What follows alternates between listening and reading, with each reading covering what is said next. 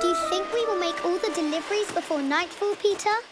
We need to hop to it, and I know a great shortcut.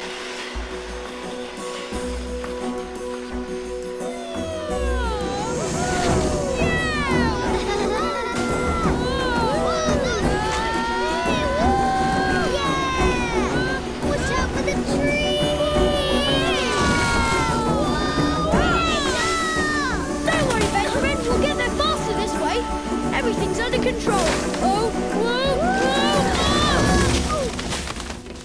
Ugh. Everyone all right? Mm, yes.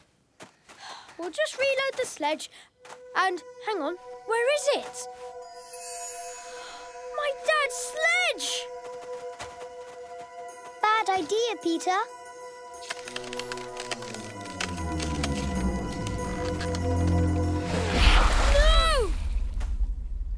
This is all my fault.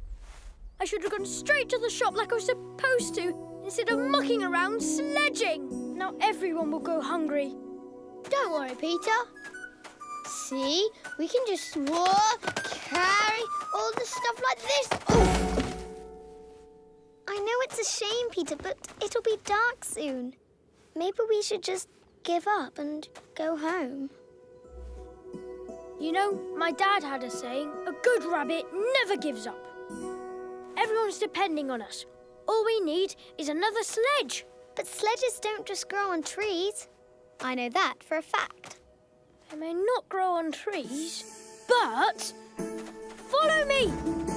Whenever Peter says that, it usually means trouble.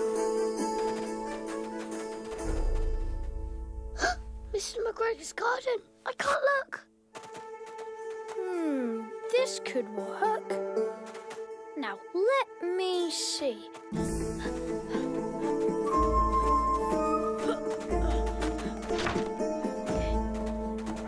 Come on, come on. Come on. What's he doing now? Getting us caught. That's what.